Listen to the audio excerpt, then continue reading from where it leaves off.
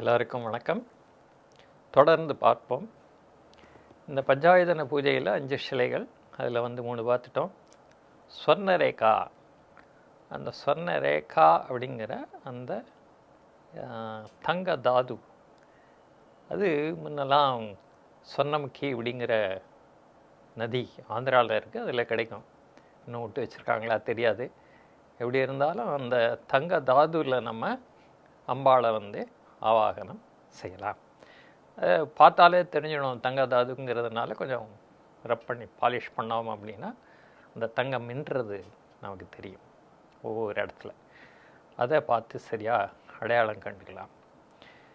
அடுத்தது சாலக்கிராமம்.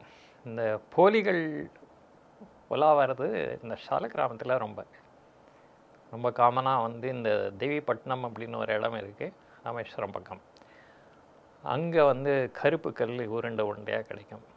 அதை வந்து இதுதான் சாலகிராமம் அப்படின்னு வித்துடுவா சாலகிராமத்துக்கே ஒரு ஃபீச்சர் என்ன? அப்படின்னா அந்த சங்கு சக்கரம் அதில் அந்த சக்கரம் அந்த சக்கர வடிவம் எங்கேயானா ஒரு இடத்துல இருக்கும். நீங்கள் இந்த படத்தை பார்த்தீங்க அப்படின்னா இது சுதர்ஷன சக்கரம். சுதர்ஷன சாலக்கிராமம் அதை பார்த்தாலே உங்களுக்கு தெரிகிறது சக்கரம் மாதிரி இருக்கிற விஷயம். ஏன் இது சக்கரம் மாதிரி இருக்குது அப்படின்னா இது சாலக்கிராமம் என்ன அப்படின்னா வஜ்ரநகம் அப்படின்னு சொல்லிட்டு ஒரு புழு உண்டு. ஒரு பெரிய புழாட்டா மாதிரி. அந்த புழுவுடைய ஃபாசில் அதுதான் இந்த சாலக்கிராமம் ஃபாசில்னால் என்ன? இந்த மரமாக ஆகி கல்லாயிடும் இல்லையா? இங்கே திருவக்கரைன்னு இருக்குது அங்கே பல மரங்களெல்லாம் வந்து கல்லாக அதை பார்த்தோன்னா தெரியும். அதே மாதிரி இந்த பூச்சியும் ஒரு படிமத்தில் இறந்து போன பூச்சியில் இந்த கல்லுக்கான குணங்களெல்லாம் வந்து அது கல்லாகிடும் அதனால் இந்த புழு அந்த மாதிரி சுருண்டு இருக்கிறதுனால இதுவும் சக்கரம் மாதிரி இருக்கும் இது வந்து வேறு வேறு சைஸில் இருக்கும். பெருசாக இருக்கும் சின்னதாக இருக்கும். இந்த மாதிரி எல்லாம் இருக்கும். இது ஃபாசில் அப்படிங்கிறதுனால பக்கத்து பக்கத்தில் இருந்த அந்த புழுக்களெல்லாம் சேர்ந்து ஒரே கல்லாகவும் இருக்கும். இந்த புழுக்கள் எல்லாம் இருக்கிற இடமெல்லாமே வந்து இந்த சக்கரம் சக்கரமாக தெரியும்.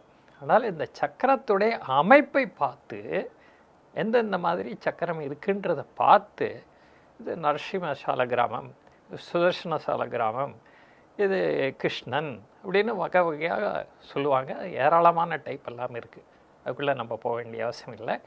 இருந்தாலும் இந்த சக்கரம் அது பார்த்தாக்க நிச்சயமாக இது சாலகிராமம்னு சொல்லலாம்.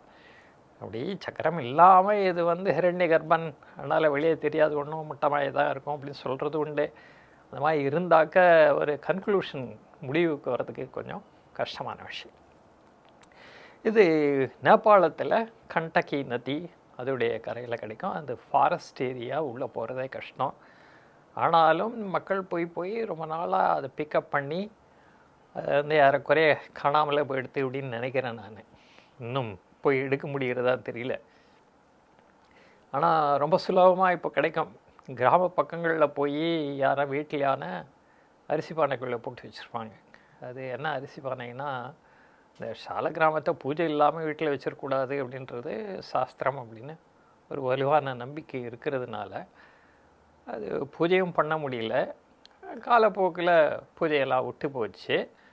அதனால் பண்ண முடியல. பழைய பழக்கத்தில் எல்லாம் போச்சு. ஆனால் இது வந்து என்ன பண்ணுறது தூக்கி போட்ட மனசு வராது. அதனால் அரிசியில் லக்ஷ்மி வாசம் பண்ணுறா அதனால் பெருமாளை வந்து லக்ஷ்மியோடு சேர்த்துடுவோம். அப்படின்னு ஒரு நினைப்பில் வந்து அரிசி பானைக்குள்ளே போட்டு வச்சுருவாங்க. இது பாட்டு கிடைக்கும். தலைமுறை தலைமுறையாக அதுலேயே கிடைக்கும். அந்த மாதிரி இருக்கிற இடங்கள் நிறையவே இருக்குது அப்படின்னு சொல்லிட்டு கேள்வி. அதனால் உண்மையாக அதான் சாலகிராமன் நமக்கு வேண்டும் அப்படின்னா கொஞ்சம் ஆராய்ஞ்சு பராய்ஞ்சு கொஞ்சம் சிரமப்பட்டு விசாரித்து யாரான பூஜை இல்லாமல் வச்சுருக்காளா அப்படின்னு பார்த்து அவகிட்ட கேட்டு பார்க்கலாம். இதில் என்ன பிரச்சனைனா அதனால் நிறைய பழைய கிரந்த கிரந்தலிப்பியில் இருக்கிற புத்தகங்கள் சாஸ்திர புத்தகங்கள் நிறைய சம்ஸ்கிருத புத்தகங்கள். இதெல்லாம் வந்து தாத்தா பாட்டி காலத்துலேருந்து இருக்கும். அதை எடுத்து உபயோகமும் படுத்த மாட்டாங்க. சரி யாரும் உபயோகப்படுத்துறவங்க இருந்தா அப்படின்னு சொல்லிட்டு கொடுக்கவும் மாட்டாங்க. ஏன்னா எங்கள் தாத்தா அது தாத்தா ஞாபகமாக வச்சுருக்கேன். அப்படின்னு ஷெல்ஃபில் வச்சு கரையான் சாப்பிட்டு காணாமல் போகும். இப்படி தான் நிறைய புத்தகங்கள் காணாமல் போயின்ட்டுருக்கு அதே மாதிரி இதுவும் கொடுத்துடவும் மாட்டாங்க வச்சுட்டு பூஜையும் ப்ராப்பராக பண்ண மாட்டாங்க. இந்த மாதிரி ஒரு கலிகாலத்து விஷயம் இருக்குது எப்படி இருந்தாலும் அந்த மாதிரி ஒரு சாலக்கிராமம் யாராலும் சரிவா என்னால் முடியல வயசாச்சு சரியில்லை எனக்கு உட உடல்நிலை சரியில்லை என்னால் பண்ண முடியாது தொடர்ந்து நீ பண்ணு அப்படின்னு கொடுத்துட்டாக்கா ரொம்ப ஸ்லாக்கியம் அடுத்து வந்து இந்த நமக்கு மேலே வேறு என்னெல்லாம் வேணும் அப்படின்னா சந்தனம் ஏற்கனவே பார்த்தாச்சு கற்பூரம். அந்த கற்பூரம் அப்படிங்கிறது ஒரு அதுவும் ஒரு ப்ராப்ளம் இப்போது முன்னாடி கற்பூர மரம் அப்படின்னு நிறைய இருக்கும் இமயமலை தொடரில் அந்த ஏரியாவில் நிறைய ஓடும் அது இல்லாமல் மத்திய கிழக்கு அந்த நாடுகளில் நிறைய வளரும். அதிலிருந்து பிரித்து எடுப்பாங்க கற்பூரம் அப்படிங்கிறது. டிஸ்டில் பண்ணி எடுத்துடுவாங்க. அந்த மாதிரி இருக்கிறது மரங்களை காண போயின்ட்டுருக்கு அதெல்லாம் இப்போ ரொம்ப சர்வசாதாரணமாக கெமிக்கல் ப்ராசஸில் தான் வந்து கற்பூரத்தை செய்கிறாங்க சுத்தமான கற்பூரம் எப்படி இருக்கும் அப்படின்னா இந்த கற்பூரம் மாதிரி புத்தி அப்படின்னு சொல்லுவாங்க. ஒரு பழக்கம் உண்டு. என்ன அப்படின்னா அவ்வளோ கூர்மையான புத்தியம் கற்பூரம் கிட்ட வந்து தீக்குச்சியை கொளுத்திய கிட்ட கொண்டு போனாலே பட்டுன்னு பிடிச்சின்னு எரிஞ்சிடும். ஒரு தரம் பத்திண்டா விடாது அப்படின்னு சொல்லிட்டு அதனால் கற்பூர புத்தின்னு சொல்லுவாங்க. அந்த மாதிரி இருக்கிற வாழ்க்கெல்லாம் ஒரு ஹிண்ட் கொடுத்தா வரும் டக்குன்னு விஷயத்தை பிடிச்சுட்டுருவாங்க அவங்க. ஓ இதுதானே ரைட்டு. இது கற்பூர புத்தி. அந்த மாதிரி கற்பூரம். இந்த கற்பூரம் இப்போது டெர்பின் வகையான கெமிக்கல் அதனால் கெமிக்கல் ப்ராசஸில் பண்ணுறாங்க கெமிக்கல் ப்ராசஸில் பண்ணி விற்கிறப்போ நிறைய ப்ராக்டிக்கல் பிரச்சனைகள் இருக்குதுன்னு நினைக்கிறேன் நான். எங்கள் ஊர் பக்கத்துலேயே யாரோ அந்த மாதிரி கற்பூரம் பண்ணி விற்க ஆரம்பித்தாங்க ரொம்ப சுத்த கற்பூரம் அப்படின்னு ரொம்ப நல்லாயிருக்கும் நல்ல கற்பூரம் வந்து நம்ம கற்பூரம் ஏற்றி காட்டி எரிஞ்சு அணைஞ்சாக்க ஒன்று ரெசிடியூ அது தட்டில் பார்த்தா ஒன்றுமே இருக்காது. அந்த மாதிரி இருந்தால் நல்ல கற்பூரம்.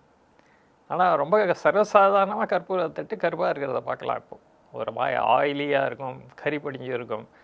அந்த மாதிரி இருக்கிறது வந்து அது முழுமையாக எரியலைன்னு அர்த்தம். அந்த முழுமையாக எரியாத இருக்கிறதுக்கு இந்த கெமிக்கல் ப்ராசஸ் எப்படி செஞ்சு எடுத்திருக்காங்க அப்படிங்கிறது காரணம். இல்லை வேணும்னு ஏதாவது கொஞ்சம் சேர்க்குறாங்களா என்னமோ தெரியல. ஏன் அப்படின்னா அந்த சுத்த கற்பூரம் நாங்கள் யூஸ் பண்ணிகிட்டு இருந்தது டக்குன்னு எரியும்.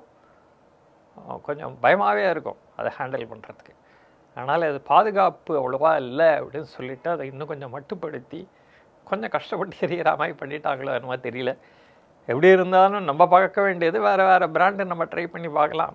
நமக்கு லோக்கலாக என்ன கிடைக்கிறதோ அதை பார்த்து எது வந்து தட்டில் வந்து அதிகமாக ஆயிலோ கறியோ படியாமல் அரைஞ்சு அணைஞ்சு போன பிறகு அந்த மாதிரி கறியோ ஆயிலோ இல்லாமல் இருக்குதுன்னு பார்த்து அந்த கற்பூரத்தை நம்ம பயன்படுத்த ஆரம்பிக்கலாம். சுத்த கற்பூரம் அப்படின்னு சொல்லிட்டு சொல்கிறாங்க அதே மாதிரி சங்கு சங்கு யூஸ் ஆகும் பூஜையில் இந்த திரி இருக்குது விபூதி இருக்குது இதெல்லாம் பற்றி அடுத்த பதிவில் நம்ம கவனிக்கலாம். குறைஞ்சபட்சம் இருபது நொடிகளாவது சோப்பு போட்டு கைகளை கழுவுறத உறுதி செய்யுங்க. நீங்கள் முழுமையான வைரஸ் நாசினியை பயன்படுத்துறத உறுதி செய்யுங்க. அது சோப்பு.